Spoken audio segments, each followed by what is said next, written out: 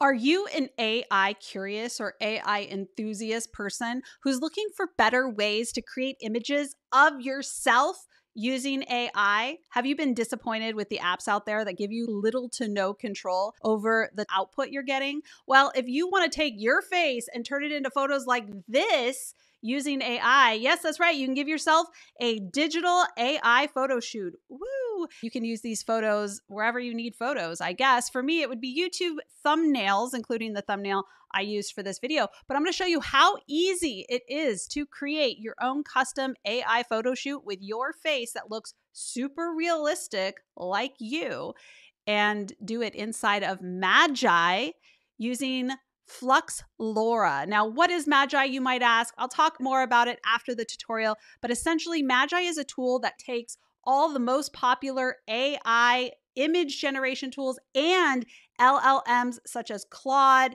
ChatGPT, Gemini, and so many more, and for one very low price, you're going to get access to all of it. So it saves you a ton of money. And if you're an AI person, or even if you're just a business person or content marketer, and you can't decide which tool, or maybe you're paying for all these tools, you can use Magai. So let's jump into the tutorial. Let me show you how to train your AI photographer, otherwise known as Flux LoRa, and you will start getting fantastic photos that actually look like you, saving you money, saving you time, and they're absolutely fantastic, especially for YouTubers who need these photos for thumbnails.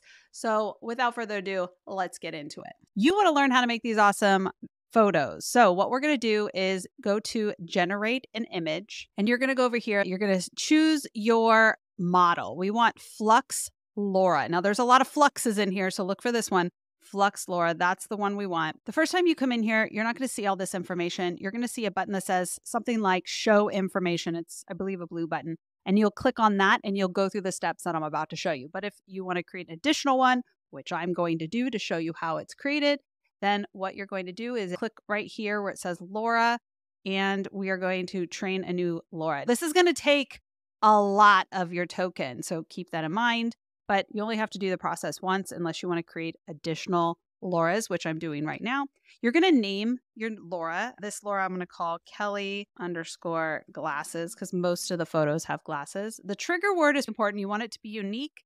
This is something you're going to use in your prompt, which we'll see in a moment. That's how the AI LoRA is going to know where to draw inspiration from. So I'm going to call this one Kelly Glasses 24 7. Do you want to do in style or create a mask? If you're doing faces, you want to do create a mask. That's what we're going to do. Number of steps, I'm going to put this to 2000. I wouldn't suggest going higher. I'm going to keep it to 2000. And then we're going to upload a zip drive. This is where you want to put some photos. Now you'll see here I have several photos. I did 16 photos with different backgrounds. I tried to do a blank background. In my first set of photos, I did my background in my office, and every single photo was the background of my office. I swear that LoRA Creates has something to do with the background of my office. You do want to either have a blank background or diversify your background. Most of these photos also have me with my glasses. I have yet to try training with my glasses on. Most of my pictures were without. In the last one, I did a couple without, so uh, the AI could recognize my face. You could see I have varying degrees of facial expressions. I did 16 photos. You should do a minimum of 10 and create a zip file. Once you have your zip file, we will go in here and I think mine is ready to go. We're going to drag and drop or upload and we will wait until it is uploaded. Once you are ready to rock, we're going to do create LoRa. Now, this is going to take a little while. So, since I'm impatient and I don't feel like waiting for that particular training, we're just going to use the training I did yesterday. I went to my Flux LoRA, and we have here Kelly. The one we just created is pending, but I have this one that is ready. The trigger word for Kelly is Stellar Kelly. And so we would copy that. You would just click on this and it would put it in here. But I have a prompt that I already wrote to keep our job easy. Professional headshot of the person known as Stellar Kelly. You see, that's my trigger word with blonde hair. And let's put me in a black sweater with blue jeans. Standing in front of graffiti in Austin, Texas. High quality studio portrait photograph taken with a Canon EOS R5 using an 85 millimeter f1.2 lens. Focus on sharp detail and vibrant colors. Now, obviously, this is just one prompt out of so many options. And I can show you a couple things that I have done. But we're going to do this. I'm going to keep it square, but you can absolutely do landscape, which is great for your YouTube video thumbnails, just saying, but we're going to keep it square for now. Now we have advanced options, interface steps. I actually never touch this, but I do like to touch the prompt guidance. I like to go slightly higher. I just find that the results sometimes are a little bit better in the four to four and a half range. We're going to go with four and then click generate. Let's see what comes up. Will it look like me? I don't know. It's always a mystery, isn't it, when we're using AI? Hey, now that definitely looks like me. So there I am, my AI photo. It's got the graffiti. It's very well lit, just like I asked. Lots of cool things. So let me show you some of the photos that I was able to create with this prompt. So there's this one here. This is another prompt that I used. I actually really like this one. I'm going to use this one in a thumbnail. You can see Stellar Kelly with blonde hair, styled neatly, black sweatshirt, jeans, standing confidently, pointing. I really like that image. I'm going to end up using it. But you could see I also did, let's go back. I had some fun with it. We have this one where I was in the city. Same prompt as this one. I don't think I made much changes. I just redid it so you could see I'm pointing, but I don't know, that finger looked a little weird to me. Here's another one I did similar to the one I showed you, but this time I wore a white t shirt. You see how graphic these are? That's because of the style, sharp detail, artistic. You have to play around with different types of prompts, whereas this one looks way more natural. You can see here I'm using a Canon EOS R5 candid photo. I like to put blonde hair. I'll show you why if I can find the photo of why I prefer to say blonde hair, because this is what I got at one point. It gave me brunette hair. This one is super cool. Look at this one.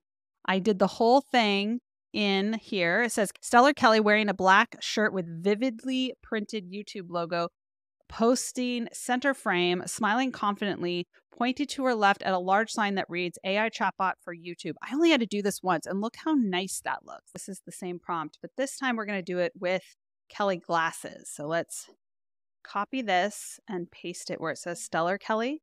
Let's try it with glasses this makeup is very consistent with the makeup I wear. That's funny. It makes sense because all those photos were taken with the same makeup look. Look at that. Those really look like my glasses. That's kind of crazy. Compare it to some of my photos where I have these glasses. You can see the eye makeup that I told you about, and we have my glasses. Because I trained it with my glasses, this is the best I've seen with creating AI images with glasses. If you want to check this out, you can get 30% off any of the packages that Magai offers using my special link, which I will link below, but it's magai.co forward slash Kelly. That's with a Y, K E L L Y.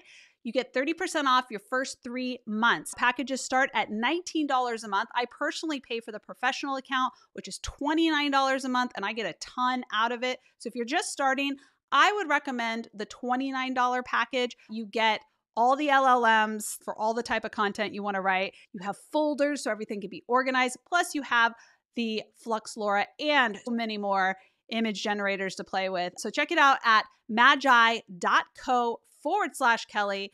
It saves you 30% for your first three months. So I hope that you check it out. If you've tried Magai or better yet, if you've tried Flux LoRA to do your own AI photos, let me know how it turned out. What did you think? And let me know if you have any questions. Don't forget to subscribe, like, and share this one. This is a good one. People are going to want to see it. And thanks so much for watching. I will catch you in the next video.